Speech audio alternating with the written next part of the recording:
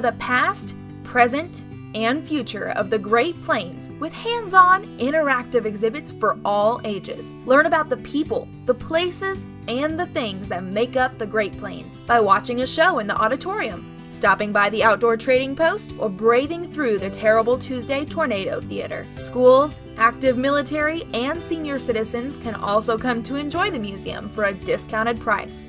Visit the primary tourist attraction in all of southwest Oklahoma, the Museum of the Great Plains. Today I want to share with you the story of Wyatt Earp. Actually, the untold story of Wyatt Earp. If you're of the uh, generation that watched the black and white cowboy shows in the 1950s all across the various TV channels, you may be familiar with a very popular one entitled The Life and Legend of Wyatt Earp. And it always began with his theme song. And I'd like to share it with you today because it has some key phrases in it that we're going to talk about in this presentation. It goes like this I'll tell you a story, a real true life story, a tale of the western frontier. The West, it was lawless, but one man was flawless, and his is the story you'll hear. Wyatt Earp. Wyatt Earp. Brave, courageous, and bold, long live his fame and long live his glory, and long may his story be told. When he came to Kansas, to settle in Kansas, he dreamed of a peaceable life. Some goods and some chattel, a few head of cattle, a home and a sweet loving wife. Now he wasn't partial to being a marshal, but fate went and dealt him his hand. While outlaws were looting and killing and shooting, he knew that he must take a stand. Well, he cleaned up the country, the old Wild West country. He made law and order prevail, and none can deny it. The legend of Wyatt forever will live on the trail. And so goes the uh, misleading theme song of the 1950s television show, The Life and Legend of Wyatt Earp. A little background on Wyatt. His full name was Wyatt Berry Stapp Earp. He was born in Monmouth, Illinois on March 19, 1848, and died January 13, 1929 in Los Angeles, making him one of the Wild West's longest living personalities. The names Wyatt, Berry, Stapp were given him in recognition of his father's commanding officer in the Mexican War. Wyatt is remembered today mostly as a result of that 1950s television series, but also later movies, including Tombstone, uh, produced in 1993, and several books, starting with Stuart Lake's Wyatt Earp, Frontier Marshal, uh, in 1931, uh, yet today still considered to be a, a, a valuable textbook on the life of Wyatt Earp. And the last published book on Wyatt Earp, my own, a Wyatt Earp anthology, Long May His Story be told. And uh, it's a fairly thick book of almost 900 pages. In actuality, Wyatt Earp was a lawman who lived in the American West, including time in Dodge City, Kansas and Tombstone, Arizona. He worked at a number of trades, uh, mostly gambling and mining, and as a deputy marshal took part in what is today known as the gunfight at the OK Corral, perhaps the most famous gunfight of the Old West. During that battle, Wyatt, his brothers Virgil and Morgan, along with Doc Holliday, killed three Cochise County cowboys, the McLaury brothers, Tom and Frank, and young Billy Clanton. For many decades after his death, only some of Wyatt's story was known, basically what the early writers were able to get him to relate to them in various interviews and then interviews with uh, those who had known him uh, throughout his life.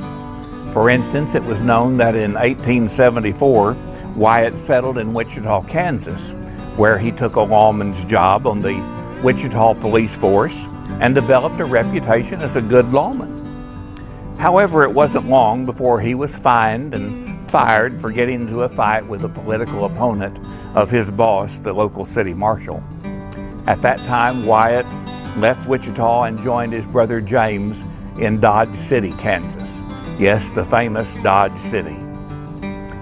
In 1878, he went to Texas to track down an outlaw, and at Fort Griffin, he met John Doc Holliday, who was to become Wyatt's closest friend until Holliday's death in 1887. The Earp brothers left Dodge City in 1879 and moved to the new, booming mining town Tombstone, Arizona.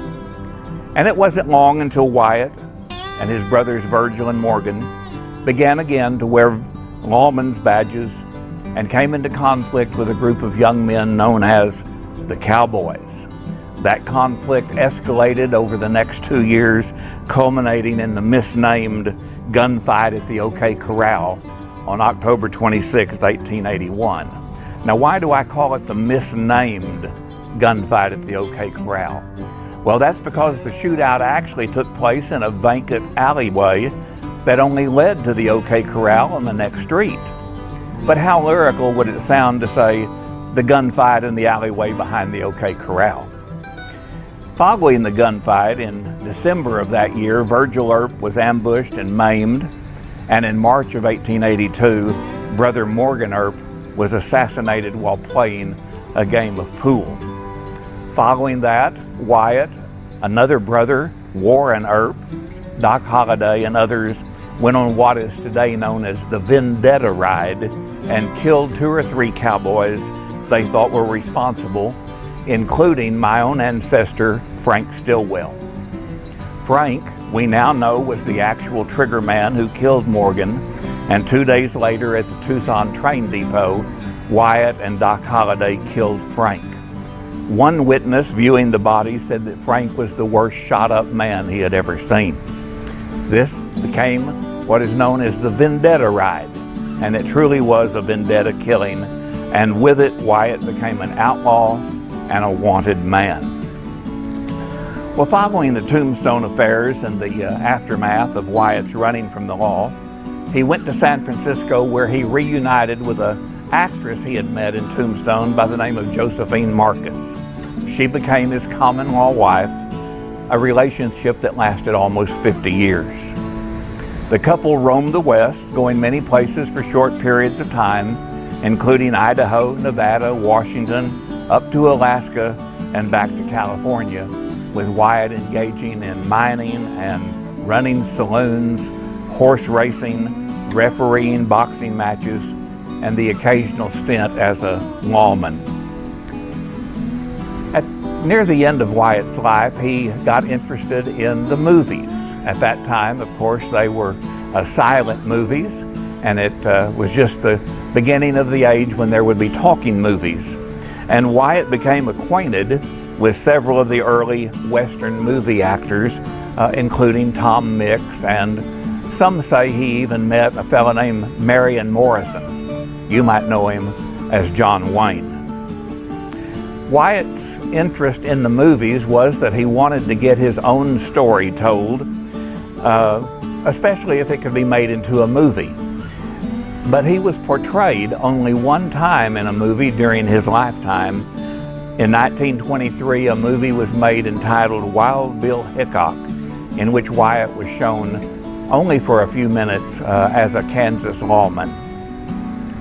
Wyatt died on January 13, 1929, a mostly forgotten man. But since then, he has been the subject of numerous films, television shows, biographies, works of fiction, two that have increased his fame and notoriety, and today he is known as the Wild West toughest and deadliest lawman.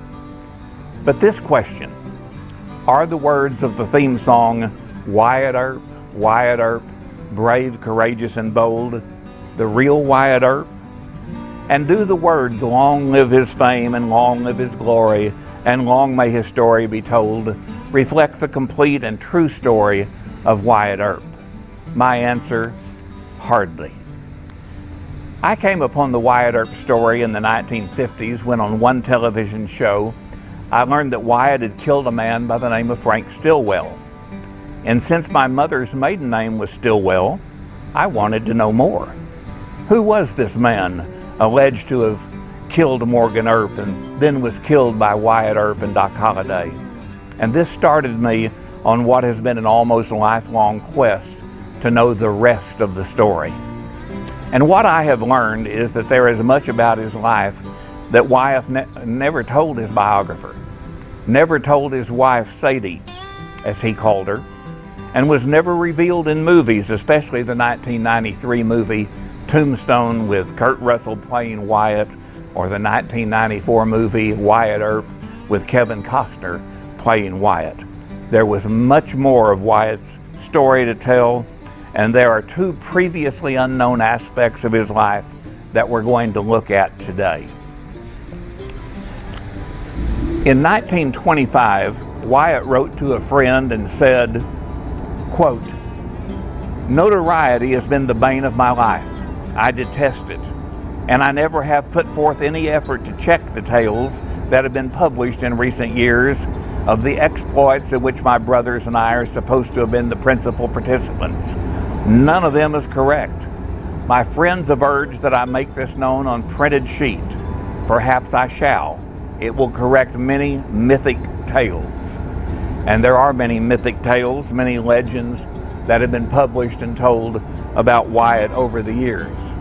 However, at that time, Wyatt didn't realize that we would, in the 2000s, live in an age of internet and the capability of looking at things that the historians of the 1920s and 30s had no uh, possible way of exploring, especially historic newspapers.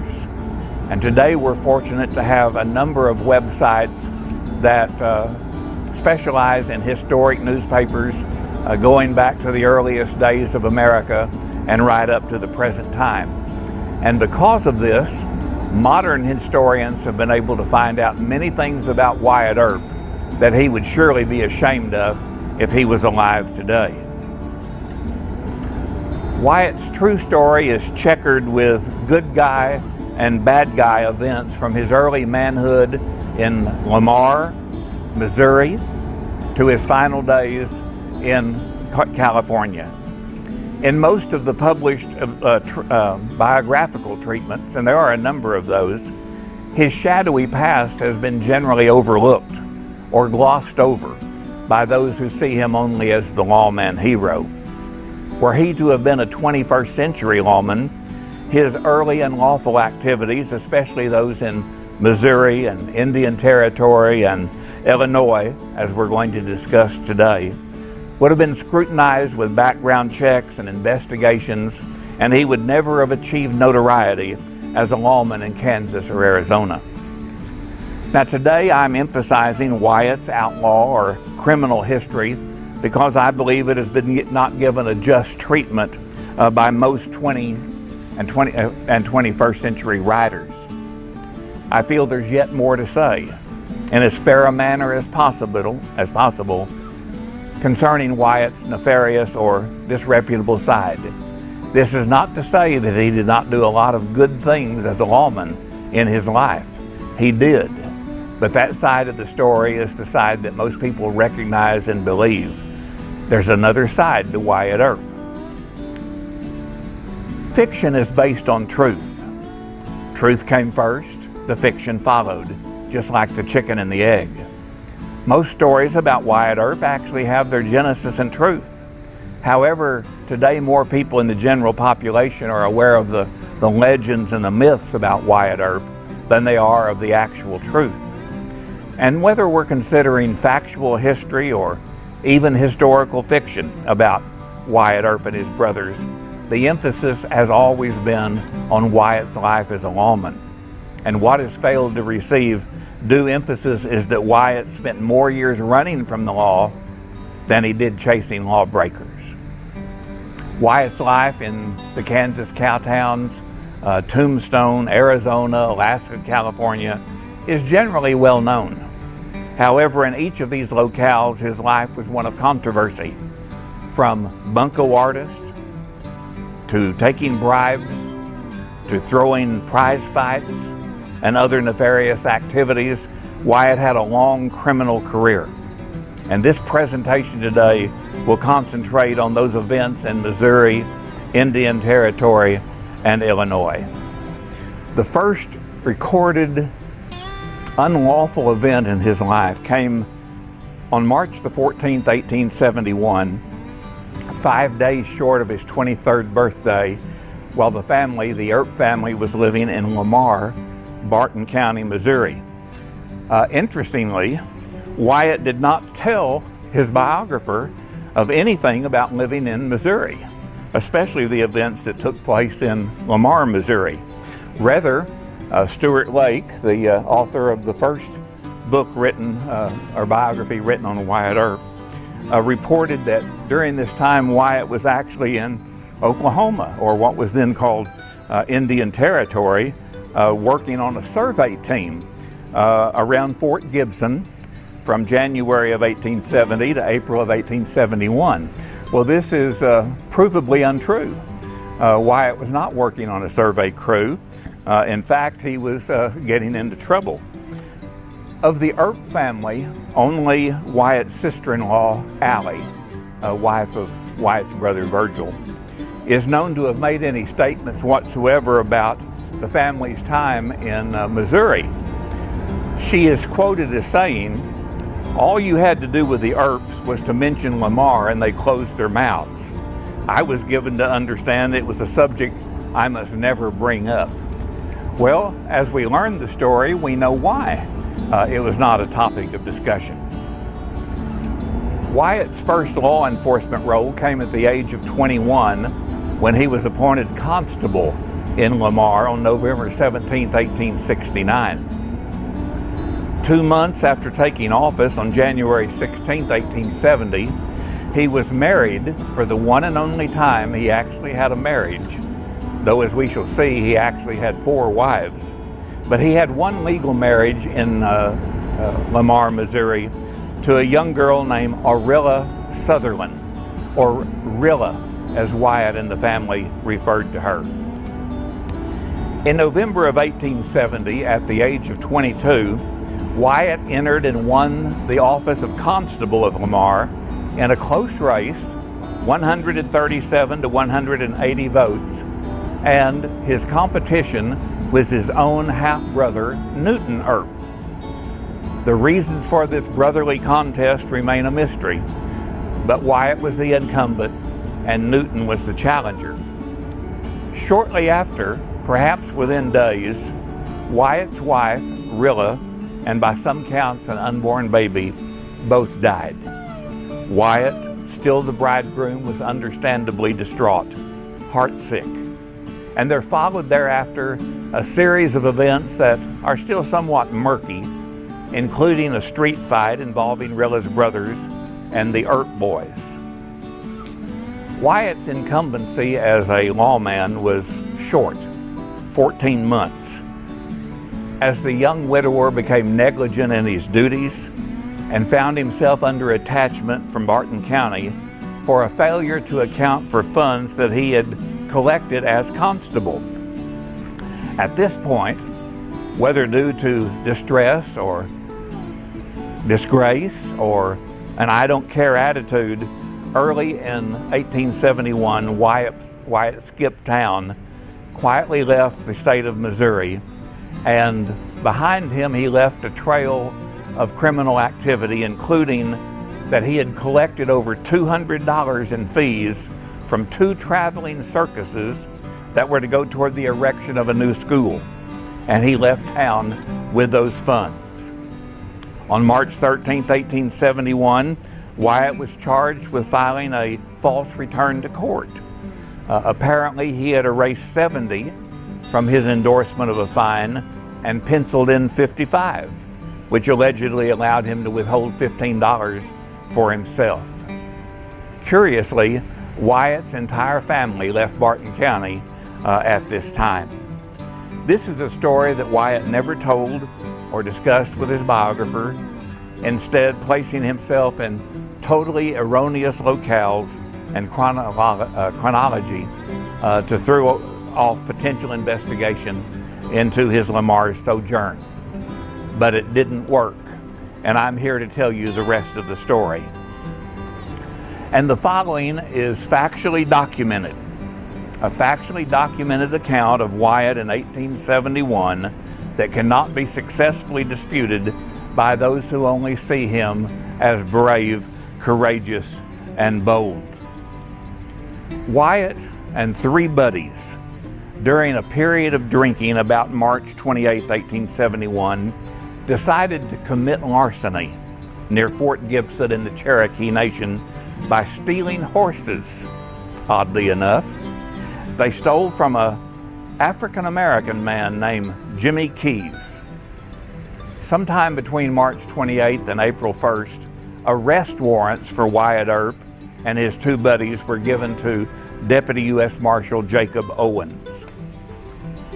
Deputy Owens appeared before a United States Commissioner and gave the following sworn statement, quote, Wyatt S. Earp, Ed Kennedy, and John Shown, white men and not Indians, or members of any tribe of Indians by birth, marriage, or adoption, on the 28th day of March, 1871, in the Indian country, that would be what we know now as eastern Oklahoma, did feloniously, willfully steal, take, and carry away two horses, each of the value of $100.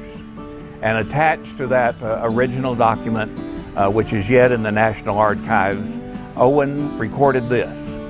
Now, on this day, April 1871, comes the defendants and waive examination after hearing the charges, whereupon it is ordered that they find bail in the sum of $500 each, in default of which they are hereby committed to jail. Well, actually, it appears that only John Shown was present for this uh, hearing on April 1st, and in a separate document executed the next day, the commissioner issued a writ of arrest for Earp and Kennedy, who had failed to appear. That same day, Deputy Owens uh, called together a posse, and they were sent to locate uh, Earp and Kennedy somewhere in the Indian nations. The posse traveled for some six days and covered some 200 miles in the Cherokee Nation uh, to locate and apprehend Wyatt and Kennedy. They rested one day after finding the men and subsequently covered another 200 miles over the next six days to present them before the judge. Deputy Owens filed a claim for $121 in expenses including his prisoners, Wyatt Earp and the others, for seven days. Now, with the three horse thieves uh, safely ensconced in federal lockup, on April 13th, the judge took a sworn statement in the case of United States versus Wyatt S. Earp. The wife of John Shown was called upon to give her testimony and I want to quote from it because it has some interesting details. I know Wyatt S. Earp and Ed Kennedy. They got my husband drunk near Fort Gibson about the 28th of March, 1871. They then went and got Mr. Jim Key's horses and put my husband on one and he led the other and told him to ride 50 miles toward Kansas and then they would meet him and then they would put the horses to a wagon and he could ride. I went with these two men and met my husband 50 miles north of Fort Gibson.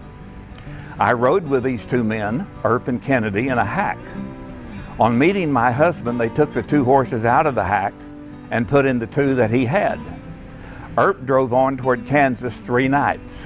We laid over several days, and about three o'clock on the third night, James Keys overtook us. My husband, John Sound, Shown, said he could have the horses. The defendants, Earp and Kennedy, told Keys that my husband stole the horses, and they also said that if my husband turned state's evidence, they would kill him. Well, we're beginning to see a little bit of the uh, situation that Wyatt has gotten himself into.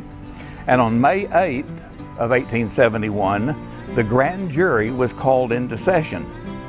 The three accused men were arraigned and when none of them could post the $500 bail, they were jailed. But later, Earp and Shown and five other men escaped from the jail, and now comes an interesting part of the story. And I have found this in my newspaper research, something that other earlier historians did not have access to. I don't want to claim to be the first to find this, but I happen to come on to something that they had not found. This is from the Van Buren, Arkansas Press of May 9, 1871, describing Wyatt's escape from jail. Quote, on Wednesday between daylight and dark, seven of the prisoners confined to the upper part of the jail made their escape by prying off the rafters at one corner and then crawling around between the roof to the grate in the back of the building where they removed the stone wall sufficiently to admit egress to the body of a man. When they tied their blankets together and lowered themselves down about 20 feet to the jail yard, they then dug a hole sufficient to crawl under the fence, which they did and made their escape without knowledge of the guard. The men that escaped were all desperate characters. Two or three were in for murder, and several were in for dealing in counterfeit money, and evidence for conviction most top positive in all cases. Included were Wyatt Earp, John Showen, and others, all considered to be bad men. No arrests have been made up to today, although a posse is out on the hunt. Thus, Wyatt Earp became a fugitive from justice, an outlaw, and a wanted man. He failed to face prosecution and possible exoneration if he had the right lawyer. Did he bear fear of being found guilty? Was facing a possible hangman's noose more than he could countenance? But this would not be the last time in Wyatt Earp's criminal career that he fled justice. So, in spite of these, uh, what we might call youthful uh, offender activities in uh, Missouri and Indian Territory are one thing, uh, his stellar lawman career uh, seems to outweigh all of those. Well, the worst was yet to come. Events that uh, took place in Lamar and the Indian Nation may, to some extent, be excused following the devastating life of his wife and unborn child. But what takes place next happens in Peoria and Beardstown, Illinois, where Wyatt had gone uh, following these uh, events in uh, Oklahoma Territory. And to me, they uh, set a pattern uh, for his life and are of what I would call moral significance. Uh, in Peoria County is where Wyatt turned to a life as a bummer, a John, and most reprehensible, a common pimp. Evidence of uh, Wyatt's demise into de debauchery became public in the Peoria Daily Transcript of February 27, 1872, in the regular column Police News. Quote, George Randall, Wyatt Earp, and Morgan Earp three men arrested at the Haspel Bagnio on Hamilton Street on Saturday evening last, were brought before Justice Cunningham yesterday to answer to a charge of being found in a house of ill fame. The woman, Minnie Randall, arrested with the above named men, was not prosecuted but used as a witness, and her evidence was conclusive. The men were fined $20 each and costs.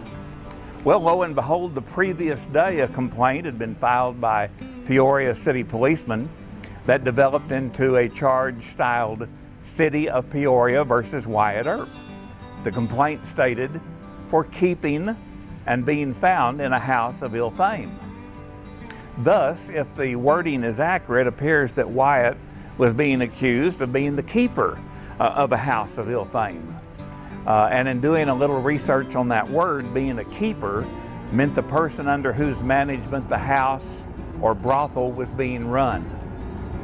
Then, on the heels of the February charge, in May of 1872, the transcript reported this quote, That hotbed of iniquity, the McClellan Institute on Main Street near Water, was pulled on Thursday night, and as usual, quite a number of inmates transient and otherwise, were found therein. Wyatt Earp and his brother Morgan Earp were each fined $4.55, and as they had not the money and would not work, they languished in the cold and silent calaboose. It does seem strange that the owner of the house in question cannot find a more respectable lot of tenants than he usually has there. Complaints arise from the whole neighborhood and some of the merchants nearby there are annoyed by the inmates even during the day. Well, Wyatt has crossed from uh, uh, petty theft of school funds and uh, the stealing of horses to now being accused of actually being a pimp. Uh, and that's pretty reprehensible. The uh, September issue, September 10th issue of the transcript posted under its police news another report uh, of Wyatt's philandering. quote, Yesterday was a gala day as to the number of criminals at the police court. The inhabitants of the Beardstown gunboat was up for trial, including Wyatt Earp, noted as an old offender, $44. Well, the Beardstown gunboat had been converted uh, from use in the Civil War to a floating house of prostitution. And on September 17th, the county sheriff and several deputies raided the gunboat uh, and arrested a number of women uh, and men, including Wyatt Earp, and surprisingly, a woman who identified herself as Sarah Earp, the wife of Wyatt Earp. This woman was a known prostitute uh, in the area who, as early as 1870, uh, was working in what was called the God Pity You Bagnio of Thankful Seers. As I mentioned earlier, Wyatt is known to have had only one uh, sanctioned, state-sanctioned marriage uh, to Urilla Sutherland in Lamar, Missouri. But he had at least two more well-known uh, common law marriages, we'll call them. Uh, one to Mattie Blaylock and the one to Sarah Josephine Marcus, uh, the woman that we sometimes call Josie, but Wyatt called her by the nickname of Sadie. But after learning this of what was taking place in Illinois, perhaps this woman calling herself Sally Earp or Sarah Earp should be added to the list, uh, making Wyatt the husband by marriage or common law of four wives. Well, we'll bring this part of Wyatt's story to uh, a close. Uh, they are certainly some nefarious activities in Missouri, the Cherokee Nation, and uh, Illinois and are somewhat startling to the uh, student of Wyatt Earp who simply loves the television shows and the, the movies uh, about Wyatt Earp and think of him as brave, courageous, and bold.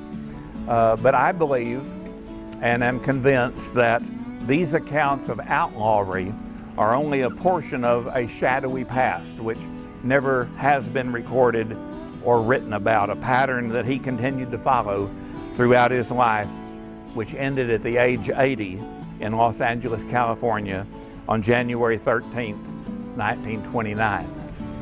Some people have said to me, Roy, you're a, you're a Wyatt basher. You're a, you're a Wyatt hater.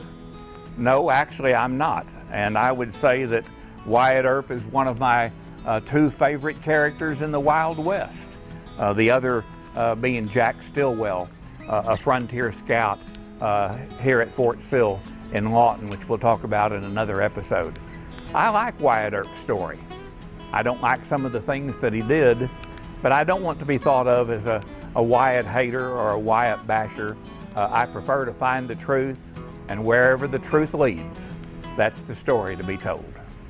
Explore the past, present, and future of the Great Plains with hands on, interactive exhibits for all ages. Learn about the people, the places, and the things that make up the Great Plains by watching a show in the auditorium, stopping by the outdoor trading post, or braving through the terrible Tuesday Tornado Theater. Schools, active military, and senior citizens can also come to enjoy the museum for a discounted price.